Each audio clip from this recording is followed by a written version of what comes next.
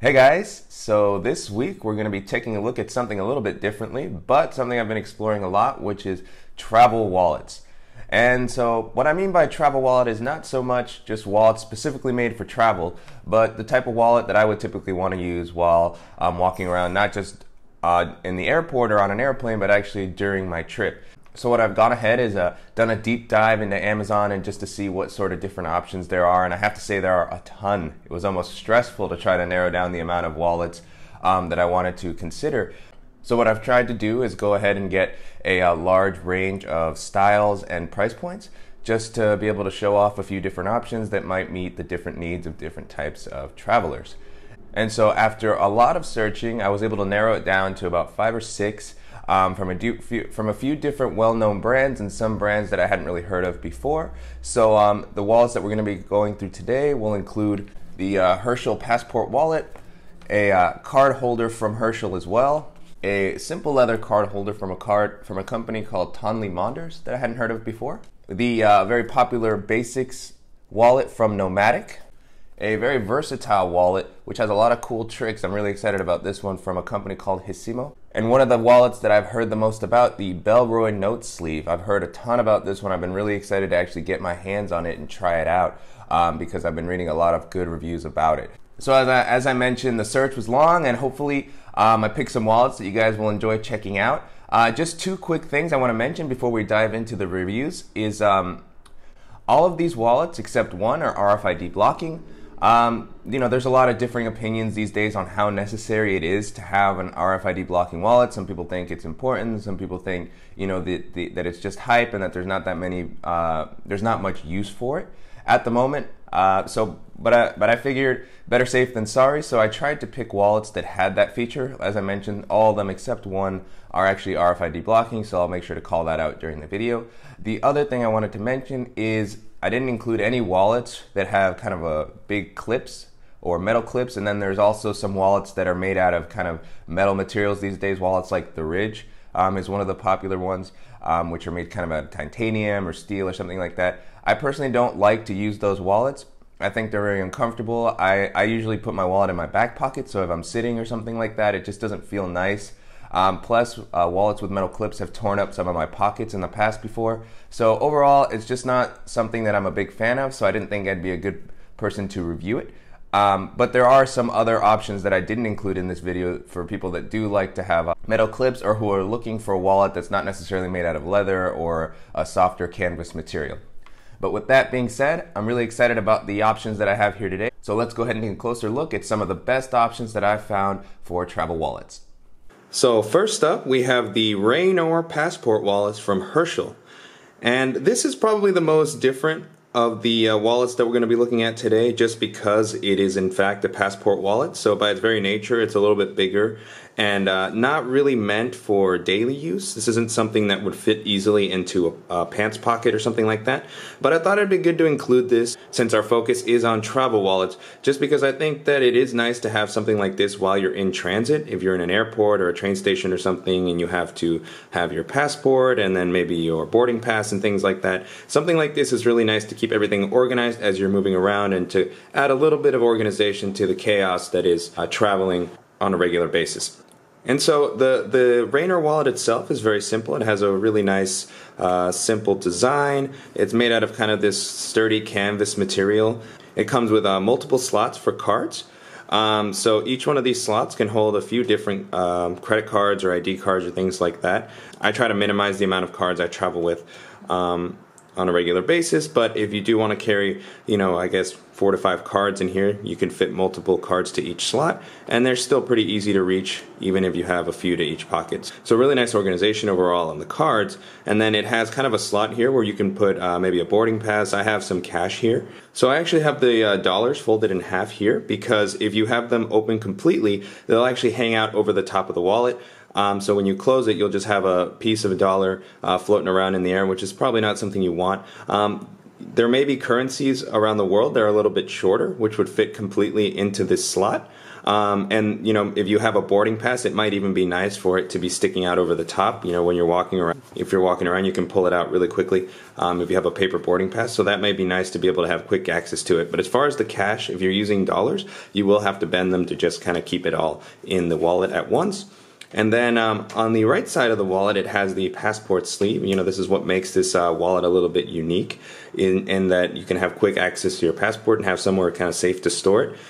So I think there's two different ways that you can use this pocket in the wallet. You can either um, do what I have done here, which is I just kind of put the back piece of the passport in so that I can have more easy access to it. It's very easy to pull out this way. Um, and if I just need to flip it open to show my picture, I can do that as well. You can actually also tuck the passport all the way in. It does actually hold the full thing. And, um, you know, one thing about this pocket is when you have the passport in, either way, it does kind of make the wallet stick up a little bit. It makes it a little bit bulkier. So if you just leave it um, to its own devices, it'll kind of pop open as you can see here. So if you tuck this into a pocket somewhere in your bag, and it compresses it down, it should be fine. But if you just, it, it is good to note that the passport does add a little bit of bulk that's going to kind of make it sit open, as you can see here in the footage. But uh, overall, you know, it's just a really good pocket. It's nice to have everything organized in one location, and as you can see, it's really easy to access. So um, overall, I really enjoy uh, testing this wallet out. I think it'd be really useful while you're actually in transit. Um, one additional thing to note about this is that it is RFID protected. So, um, you know, if that's something that's important to you or you just want to have a little bit more peace of mind, this will, um, this wallet does provide that additional feature. Next up is the Charlie card holder from Herschel. I really like Herschel's products just for the quality um, that they offer. You know, they have a really strong build quality. Uh, so we just looked at the Raynor Passport wallet a second ago, and so I, figured I'd include another option from Herschel because of that quality and also because of the price. Um, this card holder is about 17 to 18 dollars uh, on Amazon, so it's pretty reasonable for the quality that you're getting and also the brand name. Um, but I really like this style of wallet. You know, kind of these slim card holders. I think they're really nice for um, using in your uh, back or front pockets. Uh, I really like to kind of keep the things that I carry in my wallet to a minimal. Um, so I've loaded this up with probably more cards than I use on a regular basis, uh, just to kind of showcase the capacity. Uh, and so it has four different card slots and each one can hold at least two cards. You may be able to fit even a little bit more. Um, if you fill them up too much, it may get a little bit tight to pull them out, but with two cards, um, it's pretty easy to still reach everything that you want to. And then in the middle, it has kind of this slot here for um, cash. So if you do, if you fill up the wallet as much as I have here, as you can see, you kind of have to struggle a little bit to get to this middle slot. I just have a few bills here folded in half so that they actually fit. Um, but if you don't fill it up completely, this is a really easy pocket to access and a, and a really good place to keep your cash. And um, this is just a good minimal option if you just want something simple to be able to use on a day-to-day basis when you get uh, to your trip and just to be able to carry, carry the essentials. Um, and then, just as with the Raynor wallet, this is also RFID protected. If this is a feature you're interested in, the Herschel Charlie card holder has you covered. So next up is the cheapest option on the list. This is just another card holder, kind of a slim style wallet from a company called Tonly Monders. And um, I hadn't actually heard of them before, um, but I was really impressed with the wallet when I actually got my hands on it. Uh, the wallet itself costs about seven or eight dollars on Amazon, so I was really um, not expecting something that would feel this solid.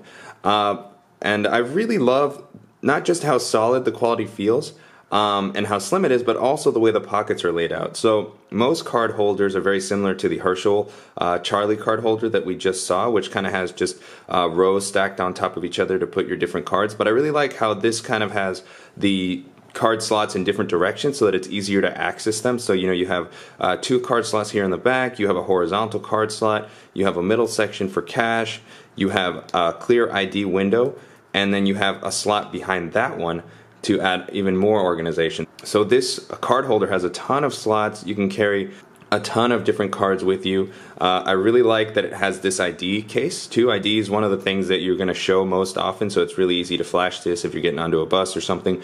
Or if you're going through TSA, it's really nice that it has kind of this thumb slot here to easily slide out your ID. You can pull it out, hand it to a security agent, um, and easily put it back in. Uh, and then behind that slot, there's then behind that ID window, there is actually an additional card slot um, to just add an extra card.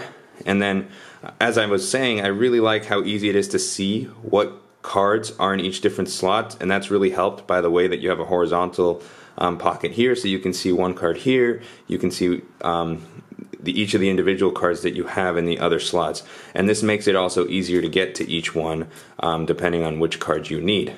And then in the middle, this also has you know the slot for cash, same as with the Charlie card holder, um, and this is easy to access um, and just a good place to keep a couple of bills or extra papers, or you can even put additional cards in there if you don't really want to carry any cash with you. Um, so overall, I just really love the style of this wallet. I really think this would be perfect for wearing in a back or front pocket, and uh, it really um, holds everything quite nicely. So for the price point that it offers, uh, this is a great option to consider. So next up is the Basics wallet from Nomatic. And so this wallet is the one I've probably been using the most over the past six or seven months. Um, as you can see, it looks a little bit more beat up. Um, but I've really come to love using this wallet. I love this um, kind of pull tab system that it has and how easy it makes it to access your favorite four cards. So you can, if you pull up on, on this tab right here, as you can see, it pops up and you can easily access one, two, three, four. And there's a lot of videos showcasing kind of how this wallet works and how many different cards it can hold. I think it can hold like eight to ten cards, and it's really just very simple. Um, the design is is very minimal. It's made out of kind of this elastic kind of material, so um, it's really thin. I really love how kind of the small footprint that it offers, so it's really easy to wear in a front or back pocket, um, and it's super minimal. And, and, as it says, it's very easy to just access all the cards that you might use on a daily basis. You can fan them out and uh, use whatever you need to. And uh, on top of that, it also has this pocket here where you can put some cash. Um, just fold up a couple of bills. And, uh, you know, I don't use cash too often, so it's very easy for me to keep just a couple of small bills. However, th this pocket has kind of been the biggest drawback that I've seen as I've been traveling, and and one of the reasons I've kind of switched more to um, some of the card holder style wallets, like the past few that that I showed in the video. You know, this this is not the most convenient way to store cash, especially if you're if you're traveling to somewhere where you want to carry a, a little bit of extra cash, just if you don't have access to ATM machines or anything like that. Um, you know, you really can't store more than you know three or four bills in here before it starts to get uncomfortable, and then just when you're trying to get cash quickly, it can sometimes get stuck. And then to put it back in you have to refold it. So it's just it's not the most efficient way to manage cash. So when i travel that that has kind of made it a little bit difficult with this wallet and just something i thought would be good to keep in mind. But overall the wallet has held up really well during the time that i've used it um, and it's been really convenient to just have the system to easily get to everything that i need to. Um, as far as the price um, I managed to snag this on, I think it was Black Friday or something like that for $10. It's currently $20 um, on Amazon, or you can get it from Nomatic's site. And it's a little bit pricey in my opinion for um, kind of what it what it offers. You know, the design is really cool, but the materials themselves aren't quite that sturdy. So when you compare it to something like the Tonly Monders that we just looked at, which is a leather wallet and something that looks like it's going to last a long time, I, and it only costs nine dollars. I think twenty dollars for um, the Nomatic wallet is a little bit high. Um, but uh, as far as the design and the durability, it's been great so far. So I definitely recommend you check this one out so the card holders that um, we've been showcasing, uh, the first few options that we showcased, you know, they had the more of the card holder feel and minimalist style, are great, but not everybody wants kind of a minimalist wallet. Every, some people will carry a lot more cash, or they want different pockets, or just to have a little bit more flexibility in how they can store everything in their wallet. If, if having a little bit more space and features is something that's interesting to you, this wallet from Hissimo, I believe it's pronounced, um, is a really great option. This is probably the one that surprised me the most of all the wallets that that I tested out. Um, I just love how many different features and options. It still manages to stay pretty slim, as you can see here. I filled it up with quite a bit of stuff, and this is kind of a hybrid bifold type wallet. So it's not a bifold in the traditional sense. It doesn't have kind of a traditional slot for your cash, um, which helps it stay a little bit thinner. But it has tons of different pockets. It has a lot of unique features, and um, I was really impressed with kind of how well it worked for a lot of different um, situations. So just starting off with the front here, I really love when wallets have this kind of uh, thumb slot to help slide and access uh, frequently used cards. So I really like that if you if you want to have your ID quickly accessible or maybe a bus card or something, uh, you can just slide it up and easily access it and then quickly put it back. So a really cool idea there. and then opening up the wallet. As you can see here, it just has a clear area for your ID. So if you just want to flash that really quickly, um, or if you're traveling through an airport or something and you need to actually hand it, it has a slot here for your thumb to make it easy to actually slide it out. And then as you can see, this is one of the options on our list that has RFID protection. So if it's something that's important to you, you can rest assured that this wallet has it. And then the way that this manages cash is really interesting as well.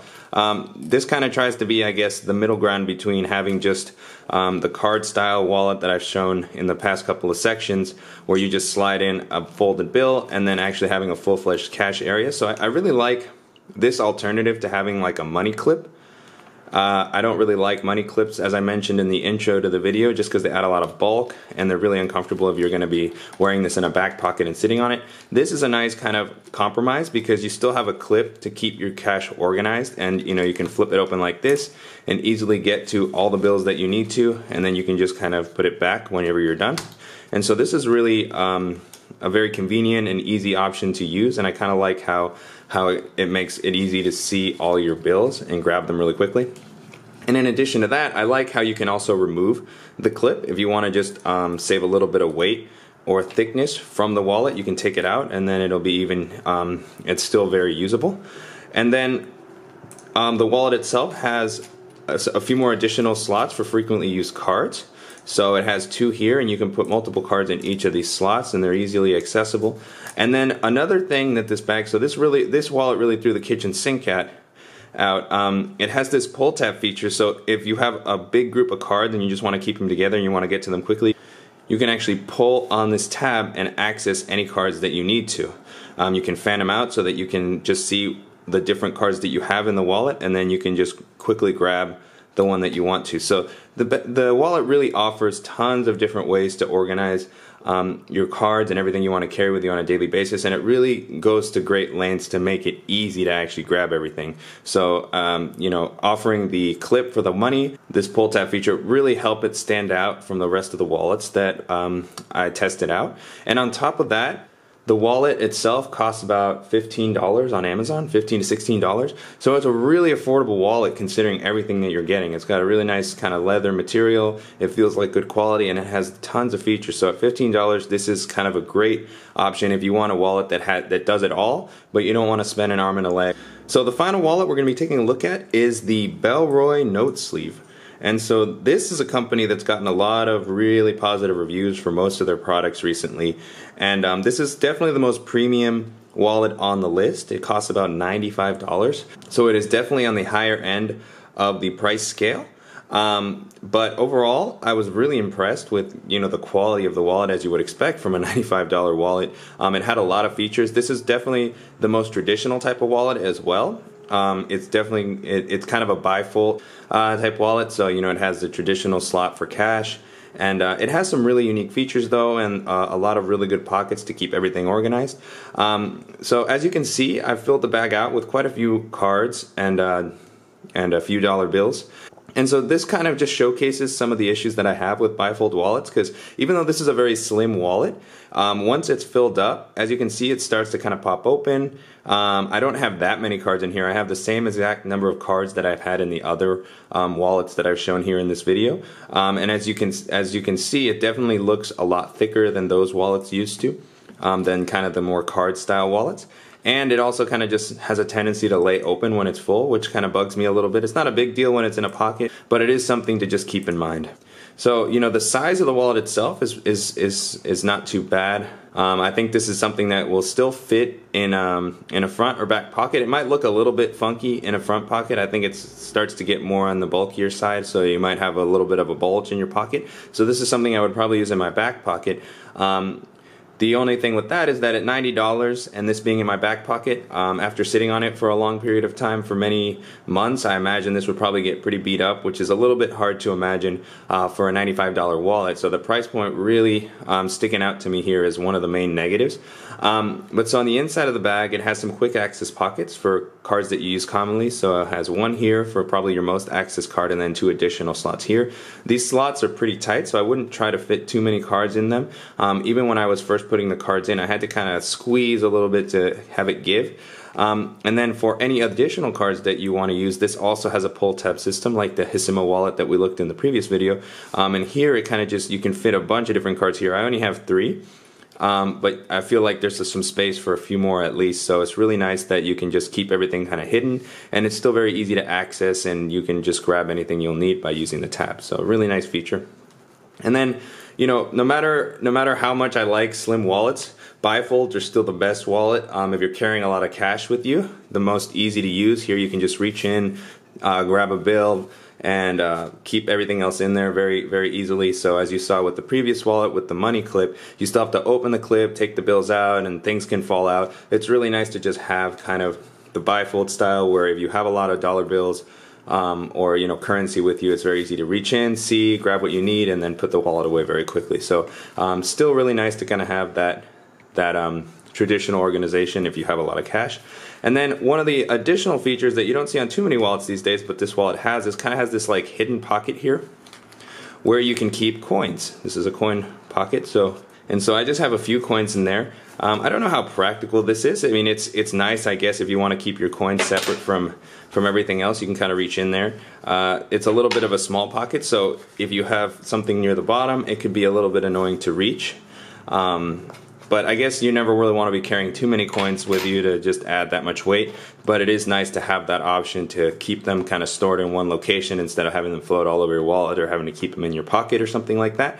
And then this, the coin pocket itself is a part of the bill area here. And then it has this like leather flap that you can tuck in to close if you want to close the pocket and help keep the coins in their place. Uh, one thing I did notice is that um, this doesn't always actually keep the coins in their place because this this kind of leather flap keep lays flat against the wall of the wallet. So you know if if a coin gets on top of it, it'll easily fall out. Um, so I think it's almost more just kind of for show. Um, but I guess if you don't have too many coins and you just want to have uh, an area for it, this this is nice to have. And then this wallet, along with many of the other wallets that we've reviewed throughout the video, offers RFID protection. So if that's something that's important to you, it is included with this wallet. And so, you know, back to the original point that I made when when I started reviewing this, uh, the price really sticks out. So this particular version was $95. Uh, I think that you know they range from 90 to 100 depending on which which style you get and which color and things like that. They do also sell this without RFID protection if you want to save a few dollars, but it's still going to be a pretty pricey wallet. And uh, you are getting a really good quality. The brand name is very well known. Um, they've gotten really positive reviews, and it seems like it's a wallet that's going to last a long time. However, um, if you are like me and you beat up your wallets quite a bit, uh, it, it, it, can hurt a little bit to uh, end up spending $95 on a wallet when you'll likely have to replace it at some point. If you really, if you want the best of the best and really high quality, this may be the option for you. But if you're looking to save a little bit of money, I don't think that this wallet was that much better than the other wallets we reviewed in the video um, for the high to justify the higher price point that it comes with.